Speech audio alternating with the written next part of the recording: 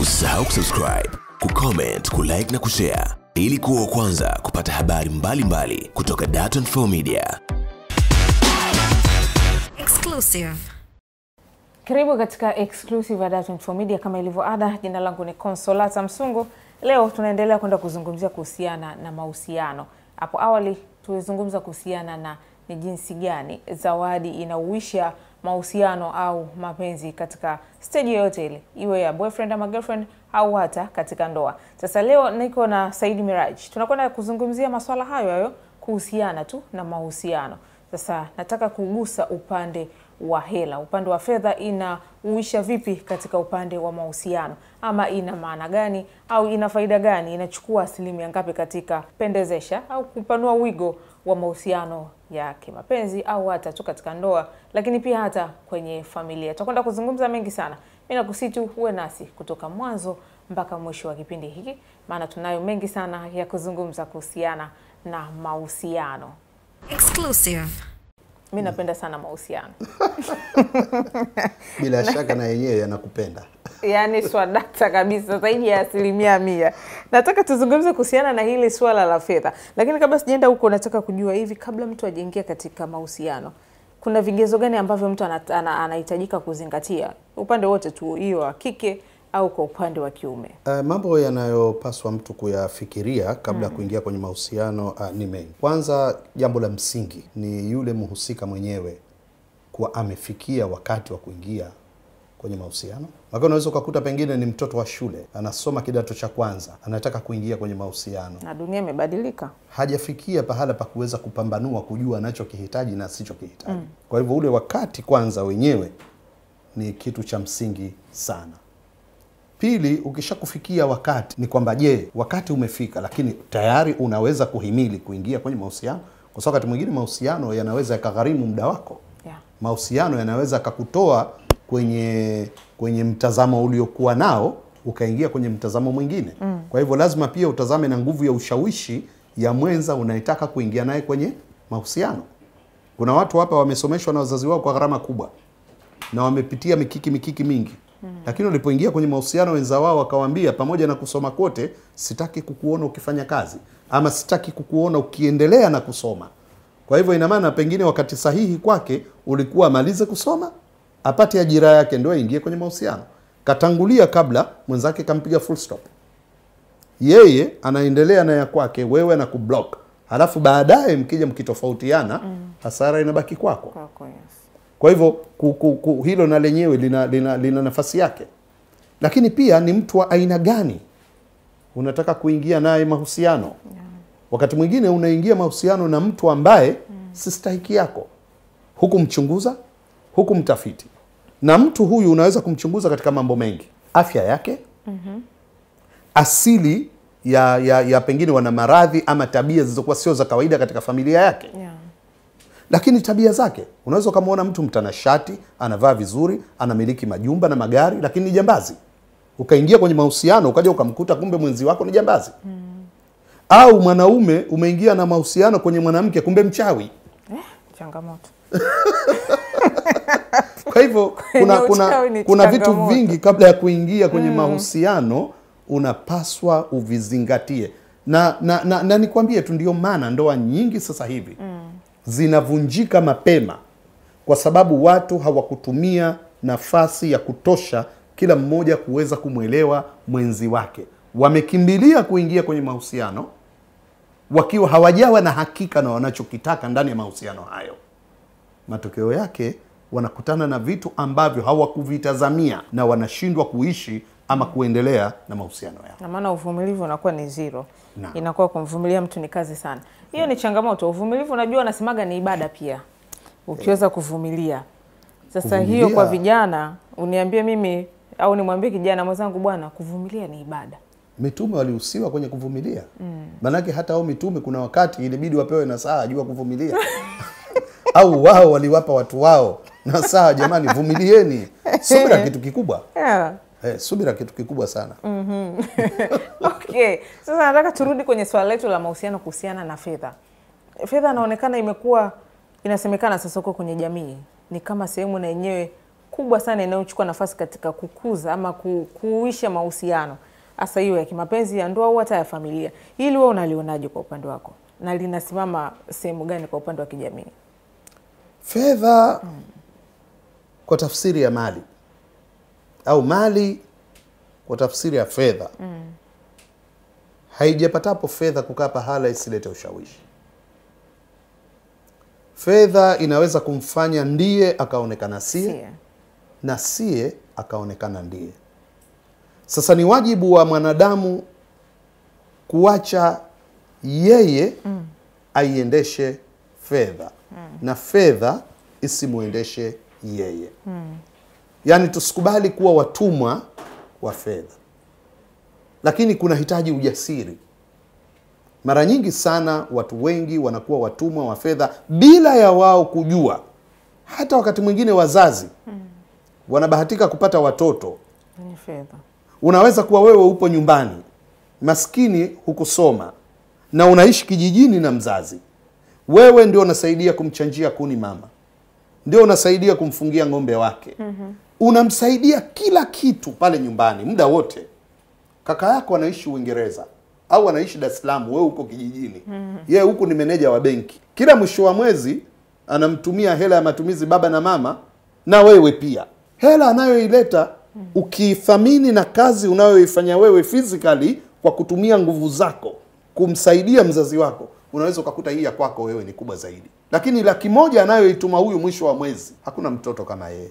Unaweza kuwa mmealikwa harusini, mmetakiwa kutoa michango, watu wametoa mchango elfu hamsini kwenye harusi, mm -hmm. wewe ukasema mimi sina hela, lakini nakuombeni kazi zenu zote mlizonazo hapa, instead of fedha, nipeni mimi nizifanye. Nitachenja kuni, nitakwenda ku- kuchota maji, nitahudumia Yeah. wageni, nitafanya kila kitu. Ile ni kubwa zaidi kuliko ni zile fedha. Lakini huyu aliyeleta elfu hamsini cash, Ana thamani zaidi. na hivyo hivyo hata ndani ya familia kwa wanandoa, mume mm. analipa kodi ya nyumba kama nyumba ni ya kupanga, mume analipa bili ya umeme, mume analipa bili ya maji, mume anasomesha watoto, mume anatibia mke akiugua, anatoa nauli mama akitaka kwenda kuona familia na nini na nini, na on top of that wanakula vizuri milo mitatu kwa siku, king'amuzi kinalipiwa, mm. unatazama channel unayotaka, unafurahi na watoto comfortable maisha, unaishi vizuri tu. Lakini mume huyu akishakumaliza mzigo wote huo, hawezi tena kukupa na laki moja kutia mfukoni. Sasa mwanamke akipata bwana wa nje Anayetoa fedha. anampa elfu hamsini ile elfu hamsini zile nyekundu nyekundu tano au buluu buluu kumi Eh, ah, imeisha hiyo. hapo habari imeisha. Wanasema nitolee hiyo utatukanwa Eh, na utadhalilika na utakuwa wewe ni mwanaume usiye na maana. Haidhuru hii elfu hamsini akiipigia hesabu haifiki hata matumizi ya siku tatu kwa zile huduma unazompa, yeah. lakini anahitaji mwisho wa siku Apose. pochi akiifungua zimejipanga mle. Sasa hapo ndio utakuja kuiona nguvu ya fedha, kwamba hivi vyote hivi thamani yake imekuwa ndogo yeah. kulikoni ile pesa anayopewa kesh na ndio maana wanaume tunashauriwa wake zetu mm. pamoja na huduma zote tuwekee fungu la kuwapa na kesh, hata kama ni elfu kumi ishirini kwa mwezi, mwambie hii Ya kafanyie mambo yako, asiruke ile roho akiona pochi za wenzake zina hela. Atakusanya kusanya na yeye pochi ya kwake, hata kama hazitumii anakwenda nazo anarudi nazo, lakini akifungua zimo. Sasa ukidharau ukasema kwani mimi sina kulisha, kipi unachokosa humu ndani?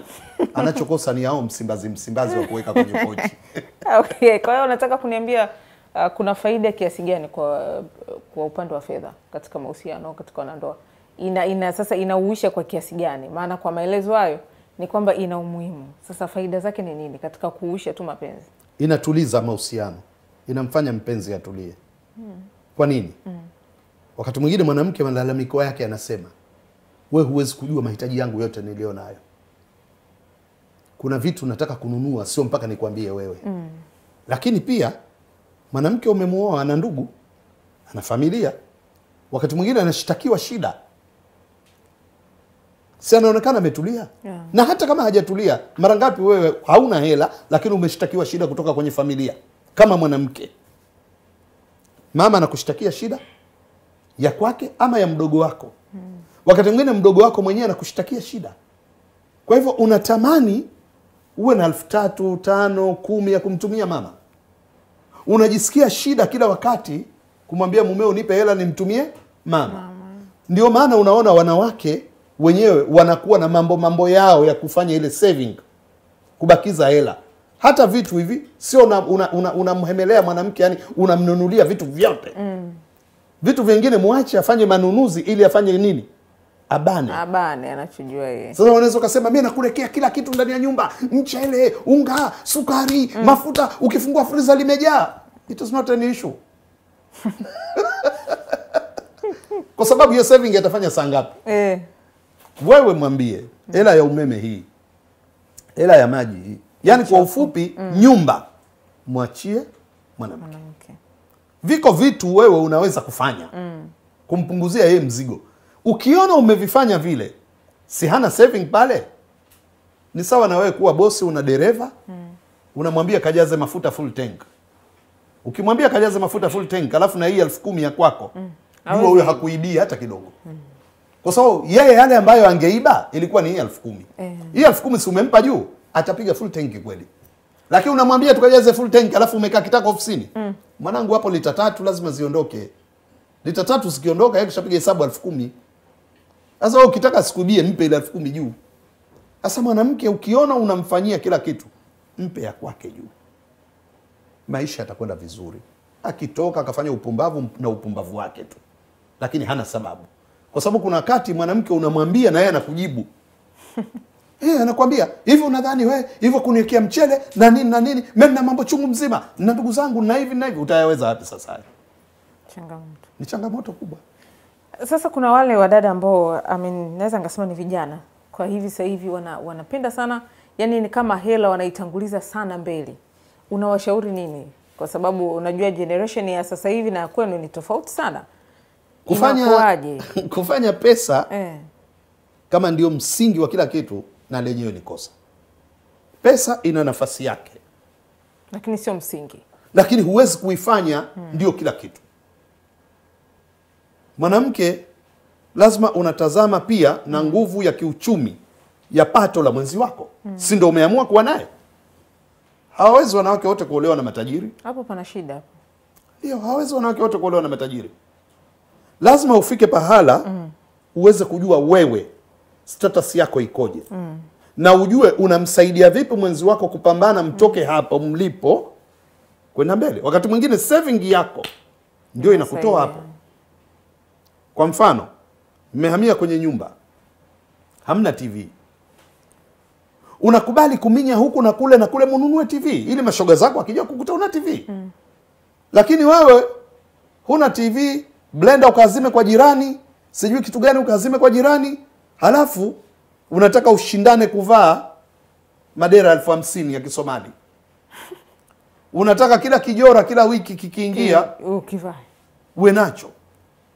Unataka kiatu cha, cha Italy. Unataka perfume nice ya nice. Elfu hamsini na tano kichupa kinafika hivi. Mm. unataka ujipulizie nayo. Ya kazi gani? Fanya vitu vya msingi ambavyo vina ulazima katika maisha vile vya anasa vije baadaye. Mm. sasa ukiendekeza anasa maisha yote pesa haitawahi kukutosha. Wewe jione maskini. Jiulize kwa nini tajiri mm. bado anaendelea kusaka hela? Kwa nini mwanamke wa tajiri kuna siku analalamika kitu fulani amekosa? Kwa sababu ni ubinadamu huo. Yeah. sasa kwa kweli nasikitika sana na jamii ya watu wa kipato cha chini wanapolazimisha nje ya mambo ya lazima kutaka vitu vya anasa vya gharama. Na siku zote ya anasa ni gharama. Mm -hmm. sasa ndoa nyingi zinaingia mitihani hapo. Mwanamke unamlazimisha mwanaume wako ahudumie huduma zisizo za lazima kwa gharama kubwa. Na inakuwa mbaya huyu anapokuwa aliwahi kuoa kabla yako ama ana watoto ama ana wazazi ama ana ndugu ambao wanahitaji msaada kutoka kwake. Sometimes hata ndugu zako wewe watahitaji msaada kutoka kwake. Sasa wewe unamforce kuingia kwenye vitu vya gharama vya starehe huyo hatajenga maisha. Mkahamia kwenu mtaishi nyumba ya kupanga tu. Huyo hataweza kukodi nyumba nzima. Hmm. ataishia kukodi chumba kimoja na sebule. Kwa sababu kipato chote kinaishia kwenye starehe ya mama huyo hataweza kuwa na akiba. Kwa sababu ukijua ipo hela kosa. Unaipangia matumizi. Na ndio maana unakuta wakati mwingine mwanaume anaishi na mkewe. Lakini mambo ya miamala ya fedha mm, kwenda kwa ndugu zake. Na hata ndugu wa mkewe inafanyika siri. Na pakianza kuwa na siri kwenye mambo ya pesa. unatengeneza tatizo na hiyo iko sehemu nyingi ku, ku, mimi kujua kipato labda cha mume wangu au mume wangu kujua kipato changu. Nanye hiyo ni changamoto. Ina sasa tunaiwekaje hii ili iweze kukaa sawa? Na sasa hivi imekuwa ni watu wengi. Kipato cha mke wangu awe tulia we bwana. Lazima mwanamke awe mtulivu wa akili. Amuoneshe mwanaume kama yeye ni mtu wa kujali maendeleo zaidi. Ni kujali wa kujali kutengeneza maisha zaidi. Mwenyewe mwanaume hmm. kila kitu atakuja atakaa atapiga hesabu na wewe. Kwa sababu anajua mke wangu ana utulivu. Ana utulivu. Lakini akikuona huna utulivu ndio unakuta hata akitaka kusaidia mtu mm. inabidi afanye siri. Lakini ubaya wake unakuja vipi? Wewe una wadogo zako wa kike. Mm. wanakuja kwa mumeo. Wanapotaka kuomba kitu hawawezi kuomba mbele yako. Utaweka mikingamo. Mm. wanamuomba mumeo siri. Unajua shida inakuja wapi? Ile siri siri siri siri siri watatengeneza mahusiano. Si wana siri hawa itakwenda mpaka watatengeneza mahusiano yao watakuwa na ufalme wao watakuwa na utawala wao nje ya wewe. Ndugu wa mume ukiona wakitaka kitu mpaka wamfesi kaka yao siri mm. jua kuna shida kwako. ina maana wanaanza kukuona wewe ni kikwazo. Kwao wanaona wewe unawatenganisha na mdogo wao ona fahari wale wakitaka kitu wapitie kwako. Mm. alafu wewe ndo umwambie mzee. Siku ukiona ndugu wa mume wakitaka kitu wanaona fahari kukwambia wewe alafu wewe umwambie kaka yao. Mm. sema umefanikiwa. Sema umepiga hatua. Lakini sasa hiyo imekuwa wanawake wengi waki, wanaona wakiambiwa hivyo wanahisi kama "Ah, wanatumia hela za mume wangu. Wapo wengi sana. Au sasa unawambiaje maana ukiwambia umefanikiwa anaweza asikuelewe mtu anasema "Ha, sasa nafanikiwaje anatumia hela za mume wangu kwani na wale hawana haki ya kutumia hela kaka yao? Hapo sasa ndo penye changamoto. Wanayo. Mwanamke wa hivyo unahisi yani nini kifanyike sasa? Mimi nadhani mwanamke kama ana akili. Mumeo amekuja amekwambia hii laki moja mke wangu ya kwako. Katika ile laki moja aliokupa mumeo kama unataka ustarehe na maisha chukua sitini. Arobaini kumi irudishe kwa mumeo. Nenda kamtafutie soksi kamtafutie t-shirt. Na siku kenda ukimnunulia mumeo t-shirt na soksi fatana na wifi yako sema eh, nakwambia kaka ananunuliwa mpaka visivyo unaona? Wanaanza kupeleka salamu nyumbani. Nyumbani. Kwamba ah, wifi. Anakusanya kusanya hela zake za nyanya zikizidi anaenda kumnunulia mumewe nguo. Sione vile shati ile kanunua wifi ile. Umetengeneza. Kwani ka kitu kadogo tu yani kadogo kabisa. Eka utaratibu katika hiyo thelathini iliyobaki. Mama anapata nini na baba? From mkono wako wewe sio cha mume siku umeenda nyumbani na, ba, na mumeo kumtembelea mzazi jioni. Eh. wewe kwenye kikoba chako huko una, vitu vyako. Mnapiga stori zenu alafu ah, tuna mazungumzo yetu. Tena mama ndo atamwambia mwanae hebu tupishe bwana na wetu na mazungumzo yetu. Nataka kuzungumza na mkwe wangu. Anaenda kupewa vizawadi vyake. Nje ya ile mizigo alioleta baba. Sana sana mume atamletea mama yake mchele. Atamletea sijui nini. At, wewe una vikanga vyako huku kwa hiyo tule tu hela unatubana kwenda kununua una zawadi. kidera cha elfu saba. saba videra vya rais si elfu tano mpaka saba? Eh. vijora si elfu tano mpaka saba? Mpaka elfu kumi na mbili? Ila elfu thelathini ile. Kaenda mtu umempelekea mama kama yupo karibu umekwenda mwenyewe jumapili moja na mzee. Tena unaunda safari sasa unamwambia mumeo unataka tuende tukamwone mama. Mm. kumbe una kidera chako unataka ukampe. Na baba ana kamsuri kake. Shilingi elfu thelathini hiyo italeta mapenzi makubwa sana tunazungumza na Said Miraji kuhusiana na mahusiano katika upande wa fedha ambayo sidhani kama kuna mtu ambaye anaichukia fedha jamani. Mimi mwenyewe naipenda sana fedha, sijui labda hata hata tukimuuliza mtu wa kamera Isa Manoti au Kabigi watatuambia hata jina lake anaitwa Noti. Umeona sasa, mi napenda sana fedha. Kwa hiyo katika mahusiano, kumbe kuna matumizi mazuri ya fedha katika upande wa mahusiano. Nataka Saidi Miraji utushauri kwenye hilo, kwa sababu hata mimi pia ni moja wa vijana kwa sasa. Vijana sasa hivi eh, dunia inatubadilisha pakubwa. Matumizi, yani unatushauri nini sasa katika matumizi ya hizo fedha, hasa katika upande wa mahusiano? Swala la fedha namna lilivyofikia pakubwa kuharibu mahusiano mm. Baadhi ya wazazi wanafikia hatua hata mtoto amepata riski ya kukutana na mtu ambaye anaona anaweza kuwa ni mwenzo wa maisha yake mm. Anaanza kuulizwa kipato cha mume, Kikoje? ana kazi, ana nyumba, ana gari, ana pesa na akiolewa na mtu mwenye pesa, familia nzima ina sapoti, inashereheka kwamba kaolewa na mtu mwenye pesa. Utazani zile fedha akifika kule zina anapewa mtoto wao. Mimi nimejifunza mm. na nime experience watu wameolewa na watu maskini, wameenda kutafuta, wametajirika. Mtu kaolewa na tajiri.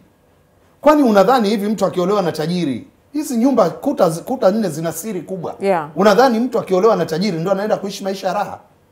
Unajidanganya. Unaweza ukaenda na umaskini wako mm. na ukatoka na umaskini wako ukawaacha watu na maisha yao. Utajiri ni wa kwake, Ni kweli. labda afe ndo utapata urithi kama utaupata. Urithi Kwa hivyo- na ukoo na wenyewe unafanya nini? Kwa hivyo wakati mwingine hili suala la fedha mm. sio tu kwa watoto wa, wa, wa, wa, wa, watoto, hata wazazi wanachangia kuwatengeneza kisaikolojia watoto wao wa kike kuwa watumwa wa wanaume wenye fedha. Ni mahusiano tunazungumza na Saidi Miraji jamani. Mimi sina la ziada. Ulikuwa na mimi Consolata Msugu. Na kusi tuendelea kutembelea mitandao yetu ya kijamii Facebook, Twitter pamoja na Instagram andika Dar24 News, lakini pia tembelea YouTube channel yetu andika Dar24 Media bila kusahau kupitia simu yako ya mkononi pakua app ya Dar24 ili uweze kupata maelezo yote kuhusiana na Dar24 Media ikiwemo vipindi pamoja na mambo mbalimbali hususan katika upande wa habari. Mimi sina la ziada. Nikutakie tu wakati ulio mwema. Usisahau kusubscribe, kucomment, kulike na kushare ili kuwa wa kwanza kupata habari mbalimbali kutoka Dar24 Media. Exclusive.